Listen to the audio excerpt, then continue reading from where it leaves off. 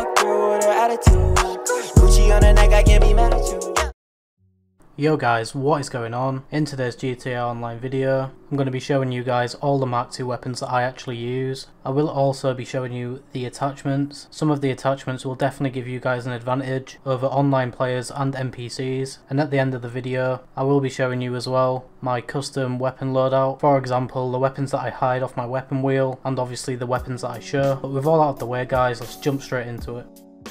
So now we've just entered our Terrorbyte and we're just going to be coming over to the weapon workshop. If you guys don't actually have this in your Terrorbyte and you don't have this in any other vehicles, for example the Avenger, then one simple thing that you can do is literally just have the casino heist all set up with the finale and then you will be able to actually use a weapon workshop which is in the arcade and down the stairs. So now back to the Terrorbyte, I do actually have every Mark II weapon in the game. So now I'm going to be showing you guys which ones I would actually recommend. The ones I recommend are the ones that I'm going to be using the most. I won't be showing the Heavy Revolver Mark II in this video as I did show it in my previous video with all the attachments I use on that to make it a one shot kill but we're going to be starting off with the Special Carbine Mark II. For the magazine on this weapon I like to just run with the extended clip I haven't really tried anything else with it, but I recommend the extended clip as I prefer having more ammo. Next we're going to go down to flashlight. This is very optional, I just have it on anywhere, but you literally don't need this on your weapon. Now we have the scopes, and for the scopes I like to run with the large scope. I just feel like this gives me the best accuracy with this gun, and keep the stability and recoil at bay. Now we're moving on to the muzzles, and for the muzzles I like to run with the suppressor. I like to use the suppressor on a couple of my guns, as it does come in handy when doing them stealthy missions. Now we're going to move on to the the grips and obviously for the grip there's only one option so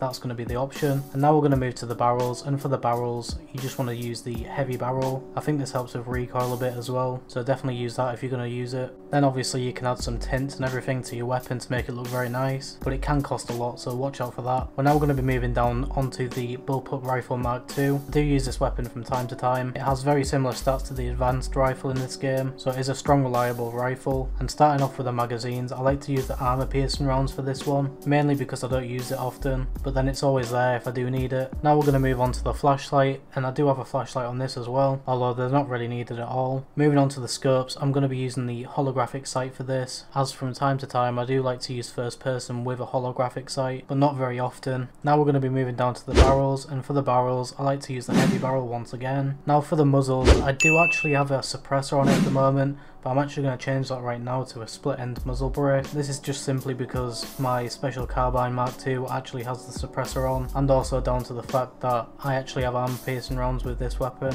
Moving down onto grip, we're going to just be using grip and that is it for the bullpup rifle Mark II. Now the next weapon is going to be the pump shotgun Mark II. This weapon is just a joke to deal with online. Literally any vehicle or anyone coming near you they're dead but only with these attachments what I'm going to show you right now. So starting off with the ammo types we're going to be using the explosive slugs. This literally just ends anyone who comes near you. It suits this weapon so so well and trust me guys the explosive rounds from this one are so much better than the actual like heavy sniper rounds the explosive slugs or explosive rounds even. It's such a god weapon. Nothing really comes close to this in close quarter combat. But we're going to be moving down to the flashlight guys and for this one I actually don't have the flashlight on it. Obviously I finally decided not to waste my money on a flashlight. Now for the scopes we're going to be using the medium scope because this is going to give us more range with this weapon and essentially it allows you to lock onto people further away. Not 100% sure on the distance of that but it works very very well. Now for muzzles I like to use just the muzzle brake Please do not use a suppressor on this weapon, it just looks so horrible. I actually can't stand the look of it, it's just so god. But then obviously you can just put your liveries on and your tints. And that is it for the Pump Shotgun Mark II. We're now going to be moving down to a personal favourite of mine, which is the Marksman Rifle Mark II. First of all, for the ammo types, I recommend just an extended clip. I've actually experimented with this weapon, with the ammo types, and I've used incendiary rounds, I think it was. They're not actually that bad with this weapon, but you barely get any ammo, so you'll just be coming back here every so often just to fill that ammo back up. So I just like to stick with the default on this and go with the extended clip. Once again, I don't see a point in the flashlight, so I keep it off. Now for the scopes, you could use a holographic sight. I have done it before and tried it out. It's not too bad. This is going to allow you to lock onto people with the marksman rifle, but I just prefer the zoom scope. Once again, it's down to personal preference as well. We're also going to be running grip with this, as grip is never a bad thing for any weapon really. And once again, for the barrels, we're going to be using the heavy barrel. You guys are probably noticing a trend right now. It's literally literally every weapon put the heavy barrel on, put the grip on. Both of these two attachments are just very beneficial for any weapon really, so I 100% recommend them. Moving down we have the pistol Mark II. I don't really use this weapon, I mean maybe once or twice I'd use it, but I'd never use it online or anything, so we're going to skip over that one. Now for the SMG Mark II, we're also going to skip over this one as I don't really use it often either. In my opinion the AP pistol is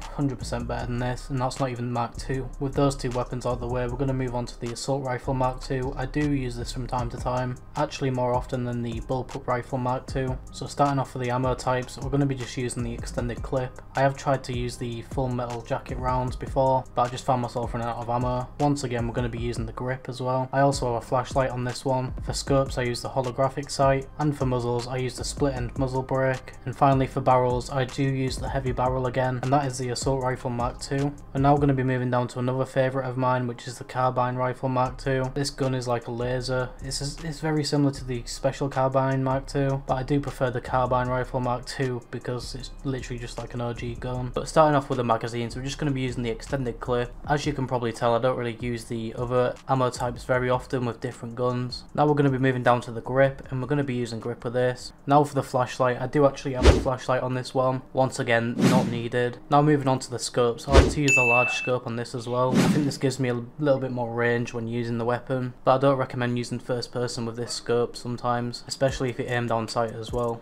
Now for the muzzles, I like to use the split end muzzle brake. On most of these weapons, it's either the split end muzzle brake or the suppressor. If you guys are following along then, it's up to you really. It's either the split end or the suppressor for me I'd say. And once again for the barrels, we're going to be using the heavy barrel. I mean, it's the only option once again apart from the default barrel. But now we're going to be moving on to the next weapon. This weapon is just a god weapon as well. Especially if like an enemy is like just a bit further away, but not too far away so you can't really snipe them you definitely use this weapon. It's very strong. For the magazines, we're just going to be using the extended clip once again. We're also going to be using grip with this. For the scopes, we're going to be using the large scope. And for the muzzles, I like to run the split end muzzle brake on this. And finally guys, for the barrel, I like to run the heavy barrel once again. You guys are going to notice that literally every single gun I have Mark II is literally similar. Not much really changes. I know the heavy barrels on literally most of my guns. But now we're going to move down to the final weapon, which is actually the Sniper Rifle Mark II. We're going to be starting off with the magazines, and personally, I just prefer the extended clip.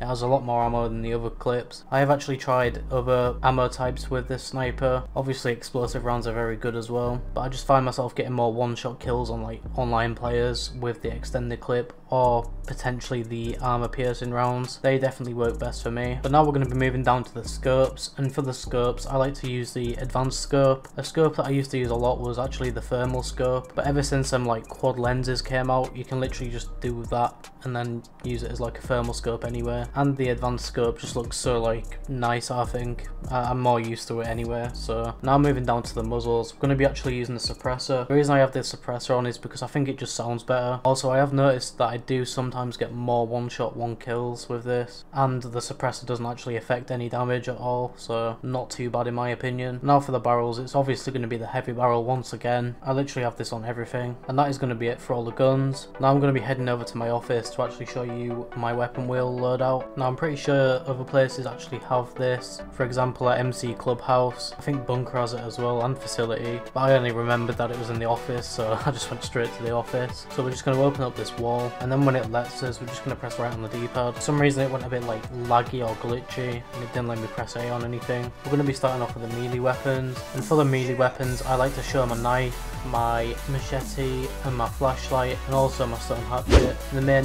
melee weapon that you definitely want guys is the stone hatchet by far. It's a one hit kill on pretty much anyone in the game and you can also get that rampage ability. And now we're going to be moving down to the pistols. The pistols I like to actually show on my weapon wheel are the pistol Mark 2, the AP pistol, pistol .50, the flare gun, the heavy revolver Mark 2, the double action revolver, the Up-n-Atomizer, and the Navy Revolver. Once again, out of all of these, I definitely recommend the top two being the AP pistol and the heavy revolver mark II. I'm pretty sure the machine pistol can be good, I mean maybe for a low level because it is, I'm pretty sure it's a DLC weapon as well so you can just buy that straight away. Now we're going to move on to the machine guns, and the machine guns that I actually show on my weapon wheel are the Combat MG Mark II, the Gusenberg Sweeper, and the Unholy Hellbringer. Now moving on to the rifles. The rifles I actually like to show from my weapon wheel are the Assault Rifle Mark II, the Carbine Rifle Mark II, the Advanced Rifle, the Special Carbine Mark II,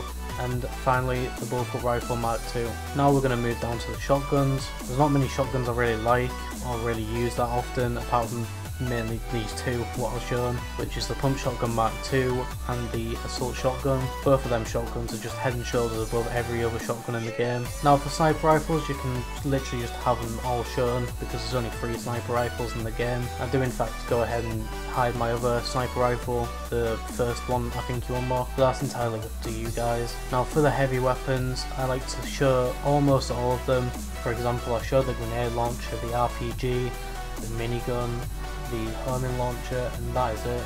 I think, yeah, only three of them are not shown. One of them which I might show in the future would probably be the compact grenade launcher, as it seems pretty reliable, and just for the fact you can actually shoot it out of cars and everything. But now we're just going to move on to the explosives, and for the explosives I like to show the sticky bomb, the grenade, and the proximity mine. I don't find myself using the others really very often so I just hide them. And remember guys you can always like change your uh, custom loadout when you come back here or anything. And if you wanted to use something that you've already hidden then you can always go into your interaction menu, go to inventory and then disable your custom loadout. This is going to give you every single gun you own or hidden or whatever, so just be aware of that guys. Anyway, that's going to wrap it up for this video guys. I hope you enjoyed this. If you did, be sure to leave a like as it shows your support for my channel. Also, feel free to comment down below any suggestions you have for the next video. I do try and read every single comment and don't forget to subscribe and hit that bell icon to stay up to date with more GTA Online content. Stay safe and thanks for watching.